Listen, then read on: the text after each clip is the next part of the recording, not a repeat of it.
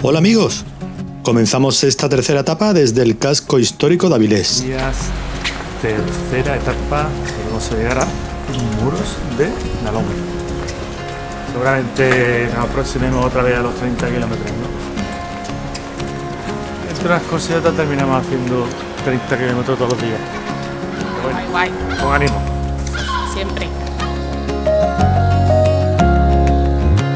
Las señales jacobeas nos dirigen de inicio por la calle Rivero, donde llama la atención, por un lado, la Fuente de los Caños, una obra hecha en 1815 con un pilón circular del que salen cuatro canalizaciones. Por otro lado, contigua a la fuente, se alza la capilla de San Pedro, un pequeño templo del siglo XVII hecho a base de mampostería, en el que se veneran las imágenes de San Pedro y del Cristo atado a la columna. Continuamos por la calle Rivero, antigua arteria de la ciudad, de la que ya se tiene conocimiento desde el año 1485 gracias a unos documentos municipales. En estos tramos porticados por los que ahora correteamos,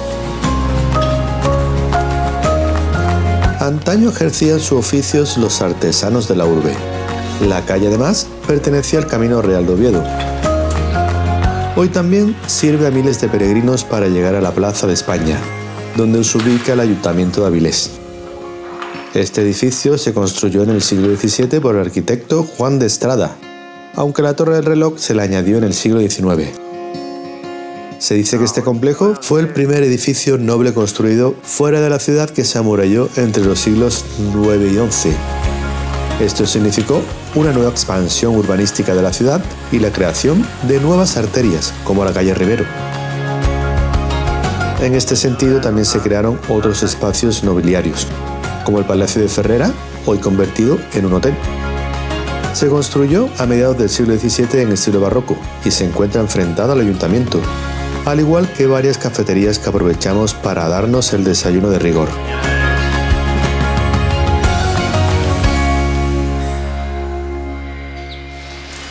Reanudamos la marcha incorporándonos a la calle Ferrería, donde no tardaremos mucho con toparnos con el siguiente hito de interés, la iglesia de San Antonio de Padua. En sus orígenes fue un templo románico del siglo XII. El estilo de su puerta principal, de arco de medio punto, así lo delata. Las que la escoltan en los laterales son ojivales, de estilo gótico, probablemente del siglo XIII. Los capiteles de las columnas de la puerta románica exhiben motivos vegetales y animales, además de una escena de Adán y Eva junto al árbol prohibido. Sobre el arco sobresale el tejaroz, un pequeño tejado sobre una cornisa que sustentan canecillos de volutas y animales. En el flanco norte hay una capilla funeraria anexa, perteneciente a la familia nobiliaria de los Alas. Se construyó en el siglo XIV en estilo gótico. Este templo, uno de los más antiguos conservados en Avilés, fue durante un tiempo hogar de la Orden de Padres Franciscanos. Continuamos descendiendo por la calle Ferrería hasta dar con el Parque del Muelle, un espacio natural con bonitas esculturas mitológicas como esta, en la conocida Fuente de Verano. Seguidamente viramos por la calle Pedro Menéndez para llegar a la Plaza de la Merced, donde nos sorprende la iglesia neogótica de Santo Tomás de Canterbury. Destacan en su conjunto, sobre todo, las torres de aguja de 47 metros de altura. Este edificio, inaugurado en el año 1903, posee en su interior tres naves siguiendo una estética de arquitectura medieval. La nave central es la más alta de todas. La iglesia se creó ante la necesidad de acoger a todos los devotos religiosos tras el incremento demográfico. El antiguo templo de Sabugo, que es el que visitamos a continuación, se había quedado pequeño para la multitud de feligreses de esta villa marinera. Esta iglesia también es de factura románica, probablemente de principios del siglo XIII, pues el gótico de la portada principal empezaba a hacer acto de presencia. Los capiteles que soportan las cuatro arquivoltas representan diferentes motivos decorativos. Sobre la arcada también sobresale un tejarot con canecillos y molduras ornamentados con variada simbología. Un tejarot también posee la portada meridional, esta de estilo románico, con una de las arquivoltas ajedrezada. Finalmente, la única nave del edificio se remata con un ábside semicircular, cuya cornisa está sustentada por diversos canecillos.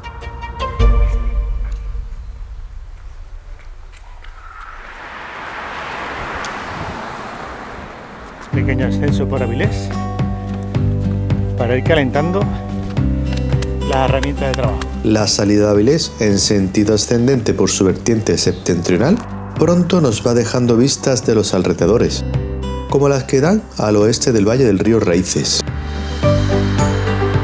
Metros más tarde, al este, tras el barrio de Valdredo, las vistas dan a la ría de Avilés y a los muelles de su puerto. En poca distancia, dejamos atrás la jungla urbana para colocarnos en un ambiente algo más rural, a base de parcelas residenciales con pequeños huertos, pastizales o incluso animales domésticos. En este trazado de asfalto, sin arcén, pero con escaso tráfico, nos desviamos por el barrio de Bastián. Nos hemos salido del camino oficial. Un tramito para visitar la playa de Salinas. Y dice que, que tiene un museo de anclas muy chulo. No habrá tiempo para visitar el Museo de Anclas, pero os mostraremos dónde se ubica. De momento, tenemos que llegar a la costa cuyo dibujo geográfico ya empezamos a vislumbrar. Desde aquí se divisan las puntas de la Foracada y la del Gallo, por cuyo espacio divisorio desemboca la ría de Avilés. Y al poco las viviendas y los inapropiados edificios de Salinas. Rompiendo los moldes. No sé a vosotros, pero desde aquí nos parece estar disfrutando de unas vistas al mar desde los barrotes de una cárcel. A continuación, descendemos por el lugar de la cuesta para introducirnos en un corto intervalo de monte de eucaliptos.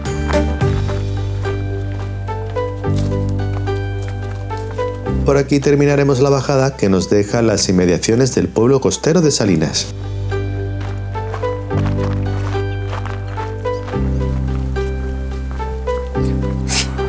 El río Raíces, que antes mencionamos, recorre sus últimos metros por estas latitudes antes de descansar en la ría de Avilés. Observamos que discurre por un agradable entorno natural con diferentes especies de avifauna, como las ánades, y también vegetación propia de ribera, como los alisos, sauces y chopos. Tras este sosegado espacio, terminamos de circular por la avenida Raíces hasta dar con la bonita playa de Salinas.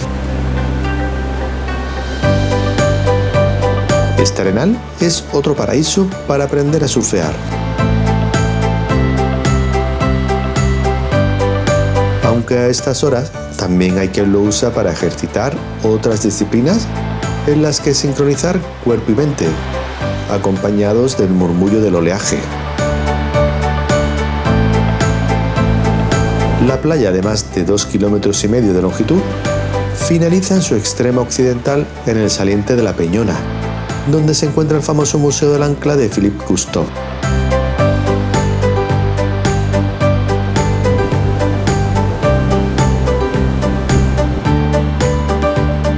Por su parte, en un extremo oriental se interpone el dique de la Punta del Gallo.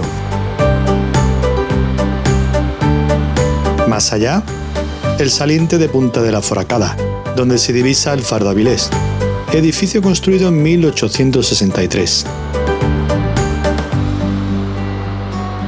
Con la pena de no disponer de tiempo para ver el Museo de Anclas, nos disponemos a abandonar Salinas. Hemos decidido que vamos a venir aquí a aprender surf. Pues nada, el Museo de las Anclas tendrá que esperar para una próxima visita. Eso es lo bueno del camino, que va dejando cosillas ahí pendientes, ¿sabes? Callejeamos por la urbe dejándonos sorprender por la coqueta arquitectura de algunos caserones hasta que empezamos a ascender por la avenida San Martín. Rampas de hasta el 18% de inclinación nos conducen por los lugares de Alberé y el Cuetu, hasta llegar a San Martín de Laspra, donde hacemos la cima de este corto repecho. Hasta hace varios años, este lugar contiguo a la iglesia homónima era un albergue de peregrinos, pero los problemas de salud de los hospitaleros han provocado que de momento permanezca cerrado. la iglesia de San Martín de las Pra es muy antigua.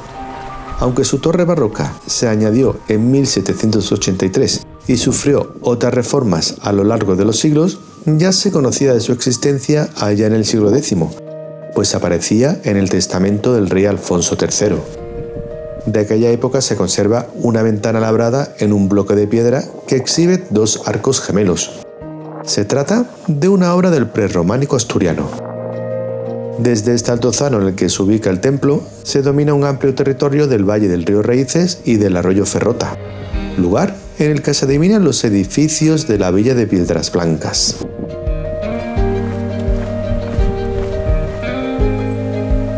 No entraremos en esta urbe, sino que la flanquearemos por la vertiente noroccidental, surcando los pequeños núcleos de casas que salen a nuestro paso. Para ello, en principio, tomaremos una pista de asfalto hacia el lugar de billar. Detrás, la iglesia de San Martín de las Prat todavía ve cómo nos alejamos de ella. Delante, el perfil vuelve a endurecerse, además de advertir un notable aumento de temperaturas. Lo urbano de Piedras Blancas ya queda bajo nuestra mirada y contrasta con lo rural de estos pastizales habitados por un bonito ganado.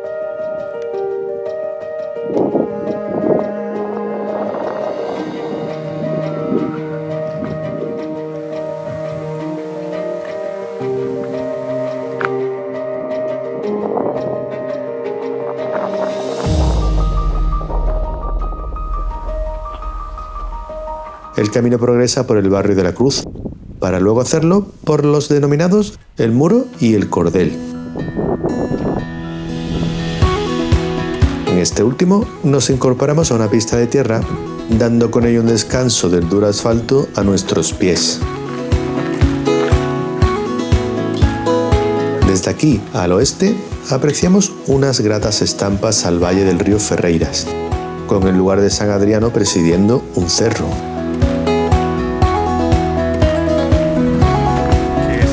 Este, el valle del arroyo de Ferrota, aunque luego hay un intervalo donde la espesura vegetal apenas nos dará tregua de nuevas panorámicas a un lado u otro del camino.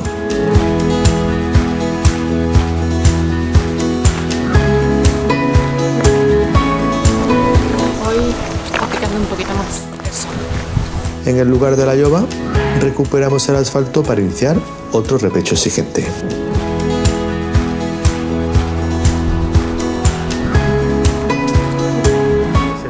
Repecho que hay antes de llegar a Santiago del Monte, que se llega en bajada. Son apenas 300 metros de subida que culminan en una nueva pista de tierra por la que realizamos el descenso a Ventaniella de Santiago del Monte. Tampoco es un tramo largo, unos 400 metros encajonados entre castaños, helechos y eucaliptos, lo suficientemente atractivo para ponernos de acuerdo en coincidir senderistas, ciclistas y jinetes. Con estos últimos salimos de la espesura al valle del río La Ferrería, para recorrer luego unos cuantos metros más e incorporarnos a las calles del lugar de la Ventaniella.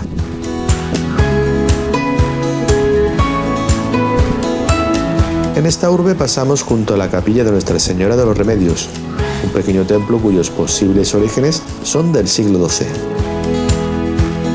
Tiene un pórtico de entrada sostenido por dos columnas y una espadaña de piedra. Interior se aprecia una bonita talla de la Virgen a la que está advocada la capilla.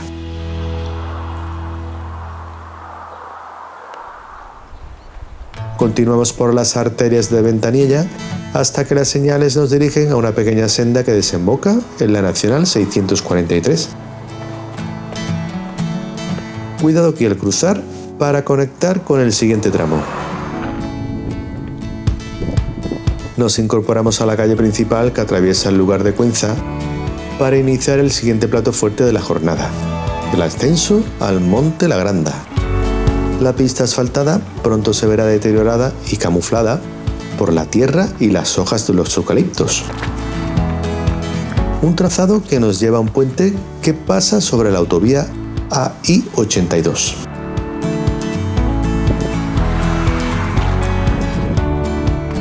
Tras el puente damos con los terrenos de una vieja cantera de arena y grava que aprovechan unas cabras domésticas para echar la siesta. Por aquí, tras kilómetro y medio de subida, finalizamos el ascenso al Monte la Granda, situado a casi 200 metros de altitud. En estas latitudes llama la atención la siguiente laguna, donde probablemente el agua de la lluvia haya aprovechado para almacenarse en los espacios abandonados de la cantera de arena. Hay varias lagunas contiguas a esta, pero la espesa vegetación nos impide verlas. Volviendo al camino, un peregrino nos sorprende incorporándose a nuestra trayectoria desde otra bifurcación. Parece ser que por aquí hay algún ramal o variante del camino que termina por confluir, así que este hecho no debe resultarnos extraño. Por su parte, seguimos recorriendo el Monte La Granda en ligero descenso, calonados por la espesura de eucaliptos, castaños, robles, helechos y otras especies de sotobosque. Un paseo agradable que pronto incrementará su aliciente al abrirse una bonita panorámica al noroeste, a San Esteban de Pravia y a su ría homónima conformada por la desembocadura del río Analón. El puerto de San Esteban fue de gran importancia en el siglo XIX y principios del XX por dar salida al mar el carbón extraído de diferentes fuentes mineras de Asturias. Algo más al oeste, en el monte, las casas de muros de Nalón, el objetivo final de esta jornada. El descenso continúa encontrando ahora zonas húmedas y algo empinadas donde es fácil deslizarse. Tened cuidado. Que está al quite a ver si me pego un guantazo, ¿no?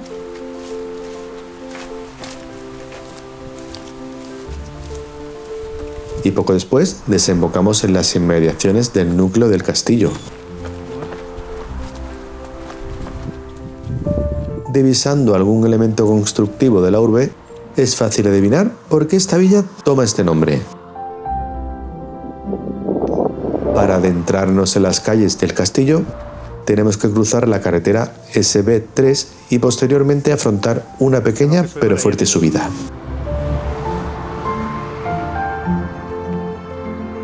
Es un pueblo minúsculo que se recorre con rapidez, pero atesora una preciosa estampa al curso del río Nalón y al castillo de San Martín.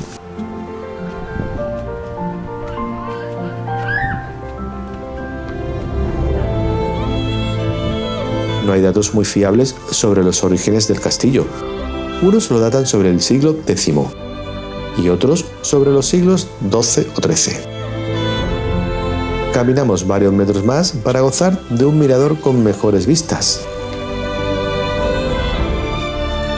La fortificación está realizada sobre un antiguo castro prerromano en una ubicación estratégica desde la que se dominaba el tránsito de los navíos y posibles incursiones enemigas. Desde aquí también alcanzamos a ver la orilla más próxima a nosotros, donde apreciamos los modestos embarcaderos de los vecinos.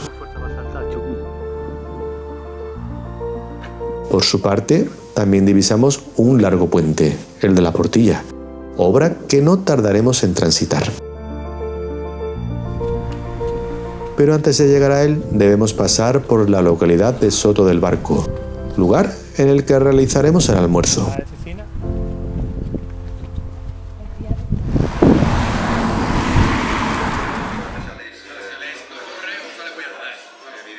Reanudando la marcha, advertimos cómo las casas de Soto se van distribuyendo hacia el sur siguiendo el curso del río Nalón. Tras dejar esta urbe, entramos en el barrio de la Magdalena, donde llama la atención las viviendas indianas de aquellos que trajeron fortuna de las Américas allá en el siglo XIX. Desde luego que eligieron bien el lugar para construir estos caserones, ya que gozaban de vistas estupendas al Valle del Nalón. La autovía del Cantábrico raya toda esta pintura.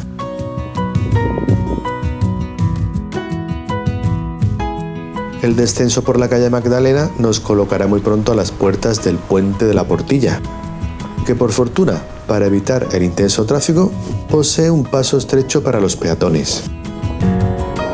Este puente se construyó en 1883 y vino a mejorar la comunicación entre el concejo de Soto del Barco con el de Muros de Nalón, que se hacía nada más pasar de una orilla a otra del río. Antaño, tanto los peregrinos, comerciantes y vecinos cruzaban mediante botes y navíos que partían de estos cargaderos y de otros que había próximos al castillo. En medio del meandro se planta un pequeño islote, cuyo extremo occidental, menos elevado y frondoso, lo aprovechan las aves para descansar con cierta seguridad. El puente de la Portilla sufrió graves daños en la Guerra Civil Española, aunque en 1938 se volvió a reconstruir.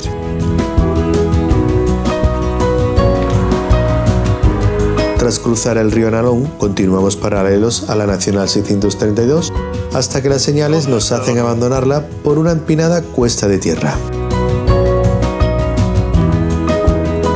Por aquí alcanzaremos el lugar de Era, a las puertas de Muros de Nalón. Pero antes de seguir avanzando nos detenemos en un improvisado mirador con fantásticas vistas a la ría de San Esteban de Pravia, la desembocadura del Nalón y a la localidad de San Juan de la Arena.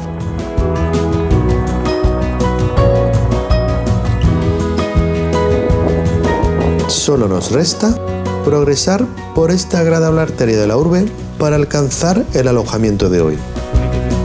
Casa Carmina. Hasta la próxima.